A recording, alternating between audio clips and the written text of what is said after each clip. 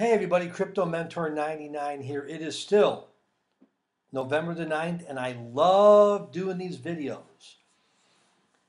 It seems like a week doesn't go by or three or four days doesn't go by when you read about a scam either on an exchange or with an ICO or some country coming out or a central bank coming out saying, so now we've got Canada our friends to the north, okay?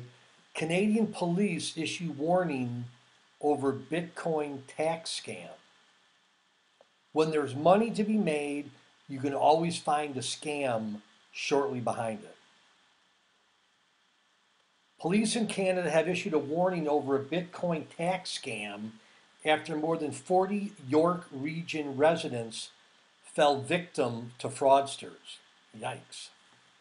According to the report by CBC News, York Regional Police said the victims lost as much as 340,000 Canadian dollars, or about 267,000 US, through the scam. Oh gosh. The fraudsters who identified themselves as employees of the Canada Revenue Agency threatened the victims with arrest for unpaid taxes if they did not send their funds using Bitcoin ATMs. Whoa. First red flag. York Police Deputy or Constable Robert Vingerholtz said that the Bitcoin ATMs are legitimate, which they are, there's some in my city, and that tracking down the fraudsters or recovering lost money may be impossible. I'm sure of that. According to the police, there have been an increase in reports such as scammers in recent months. Sorry to hear that, Canada. Public awareness is the only way to combat such scams in the future. York police have placed flyers near Bitcoin ATM machines.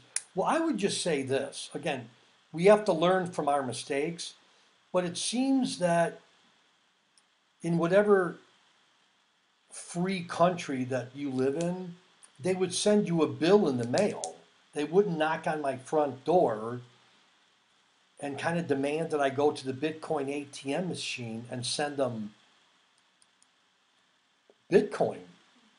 I mean, wouldn't you think that that's kind of, I mean, I hate to throw these 40 people under the bus, but wouldn't you think, I would just say, well, send me a bill or have your boss call me on the telephone or email me a letter or something.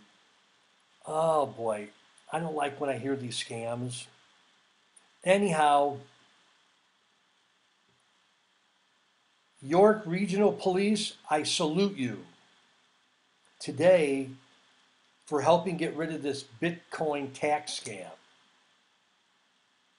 And remember, people, do your due diligence. It could happen to anybody. It could happen to me. It could happen to my neighbor. It could happen to anybody. It could happen to you. So anyhow, as your Crypto Mentor 99, I'm just giving you some uh, some love. Okay? Don't fall prey to any scams. And if you are involved in a scam, email me and let me know what it is so I can make a video about it. In the meantime, I got to go. See you later. Bye.